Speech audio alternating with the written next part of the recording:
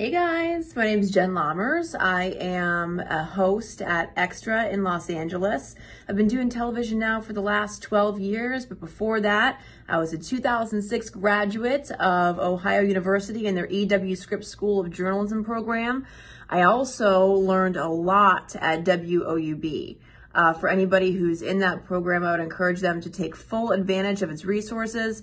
I know that I came out of it armed with um, a lot of knowledge and a lot of experience, which you really can't get to that degree at other universities. Um, through WOUB, I was able to uh, see what it was like to, to do my own teleprompter, to do production, uh, to anchor the news, to do radio, and you kind of work your way up through the ranks, and you can, you know what that's like to get as much experience as possible because you, you really can't figure out what you want to do unless you actually do it. And WOUB is a great opportunity to get that hands-on experience.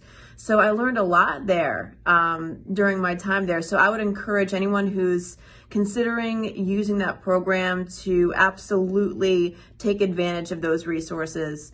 Um, it certainly helped me throughout my career. It taught me lessons that I've taken throughout my 12 years doing television. So all right, congratulations to the new class and have a great time while you're there.